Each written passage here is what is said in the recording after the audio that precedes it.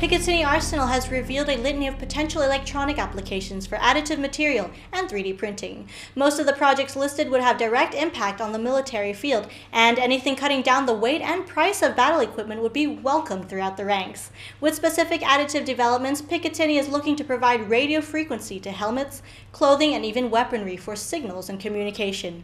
Of course, electronic equipment is not limited to ground forces, and Picatinny Arsenal foresees 3D printing in unmanned aerial vehicles vehicles, or UAVs. Picatinny's research delves into the process and applications for electronic 3D printing. With the heating source, materials like gypsum, metal powders, plastic filaments, and others can be melded and added layer by layer as those are familiar with 3D printing are aware.